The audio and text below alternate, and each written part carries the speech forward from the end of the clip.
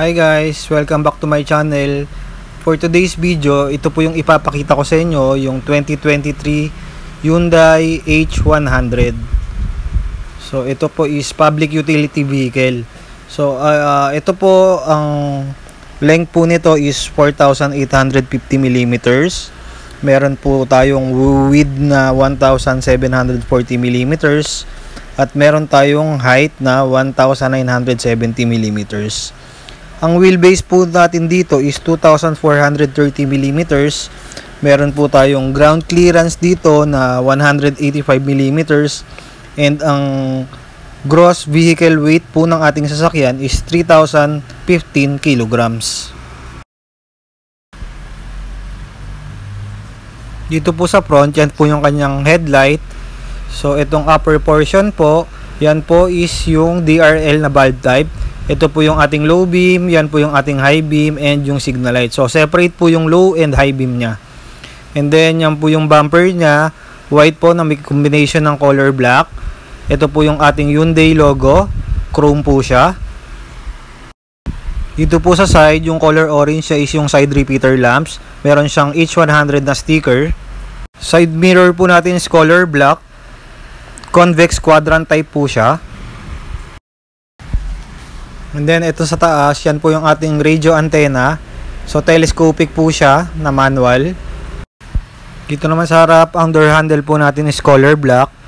I-check natin yung loob. Ang sidings po natin is grayish black. Ito po yung lock and unlock. Yan, may extra lalagyan. Ito po yung kanyang pag-open and close ng ating windows. Then dito sa baba is yung ating speakers. So dalawa po ang speakers dito sa front. And then ayan, extra lalagyan pa po. Dito naman po sa front seats po natin, leather seats na po tayo. Combination po siya ng dark gray tsaka ng gray. And then dito po kung papasok na po kayo, meron po siyang uh, step board para hindi mahirapan umakyat or pumasok for ingress. Dito naman sa steering wheel natin, so yan yung busina and emblem siya ng Hyundai, Hyundai logo. Power steering na din po ito. Dashboard po natin is hard plastic na dark gray ang color. And then dito naman po yung ating cluster parang nakasedan ka na eh yan po is sedan inspired cluster so yan po yung kanyang RPM yan po yung sa kanyang temperature po ng sasakyan yan po yung fuel gauge and yung kilometer per hour niya po dito naman sa center so yan sa gitna yan po yung aircon vents ito po yung fan yung fan speed and then sa baba niya po is yung control po yung aircon defogger yung rotation ng hangin. Then, mas recommend na naka, naka-press yan para hindi mo maamoy yung hazardous chemical sa labas. Temperature ng ating aircon. Ating radio with USB ready na po ito. Ito naman po yung ating 12 volts na uh, power outlet. Yan. And then, yan po yung sa ignition key natin. Ito naman po, extra lalagyanan po. And then, pwedeng cup holders po. And this one, cup holder din po siya. Tsaka yan po yung ating handbrake. So sa passenger side naman po, meron po ito po yung ating globe compartment box. So yan, medyo malaki po ito compare compare sa iba. And then dito naman po, ayan po yung ating transmission. Meron siyang chrome na nakapalibot. And then yan po, kung makikita nyo, 6 speed po siya. So ang primera ganyan, first gear, second gear, Third gear, tulak lang pataas. Fourth gear, pababa naman. And then, ito yung fifth gear and yung kanyang six, pang 6 gear. Ngayon, kung gusto mo naman siyang i-reverse, European style po siya. May lever po siya. Ito po, kailangan i-press up po siya para pumasok sa reverse. So, yun po yung kanyang reverse. Sa passenger side, yan, may sun visor po siya. May ilaw sa gitna. Sun visor din po sa driver side. Dito naman po sa left side, yan po yung kanyang signal light. Sa right side naman po, yan po yung control ng wiper.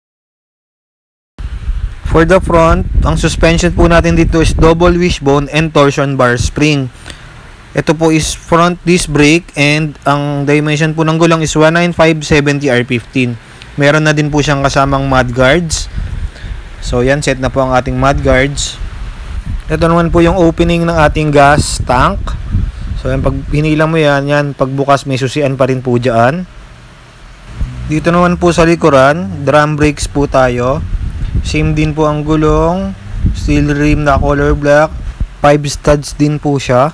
And then, ang suspension naman po natin dito sa likuran is semi-elliptical laminated lip spring. Yan po yung kanyang reserve tire. So, size 15 din po yan na steel rim.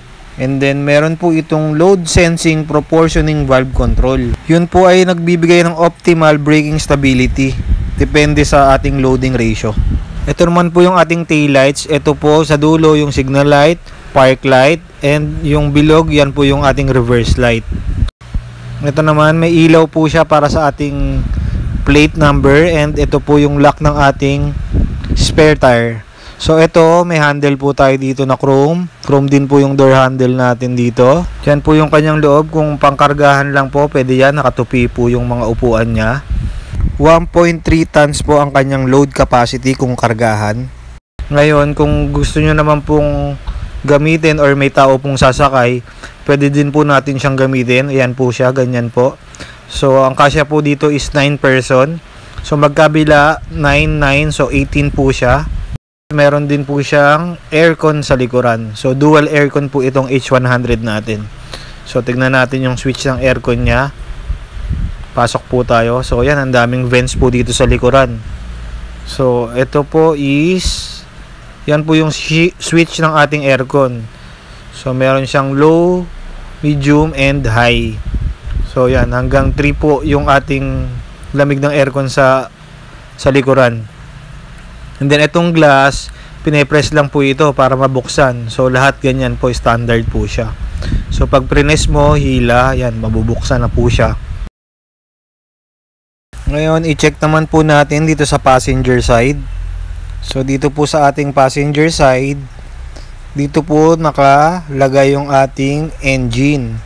So ang gagawin lang po natin, i-unlock lang po natin tong lock dito. Yan, dalawa po yan. Ito naman po yung isa. Unlock lang po natin siya. So kapag naka-unlock na po siya pareho, pwede na po nating i-lift yung upuan niya. And pag nilift natin yung upuan, makikita na po natin yung engine. So yan po yung ating engine for the H100. Ito po yung lalagyan ng ating engine oil. Itong yellow naman po yung dipstick ng ating engine oil. Yan po yung ating coolant. And then, itong, ito naman yung uh, sa ating power steering po. Ang ating H100 is 2.5 liter CRDI dual overhead cam 16 valve.